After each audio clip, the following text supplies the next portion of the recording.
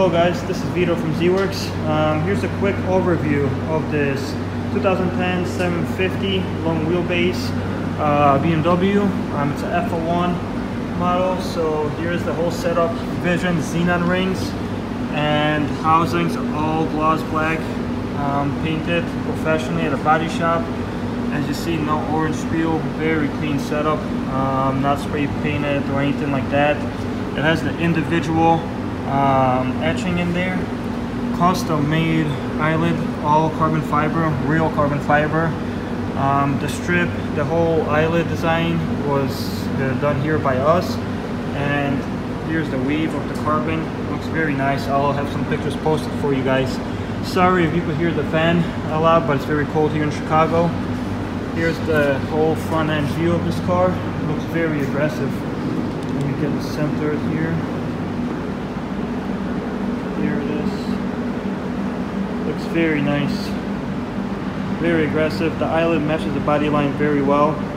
Um, also, when you lock the car, the eyelid goes amber, um, or it's actually switchback. So when you lock it, it will blink.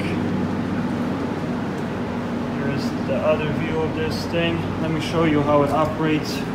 This vehicle also got detailed, ceramic coated um, with the Feynlab coatings that we use. Very clean. Let me show you the interior. So for example, when you're using the turn signals, the eyelids will go change the color and they will blink with, with the factory signals. Looks very nice.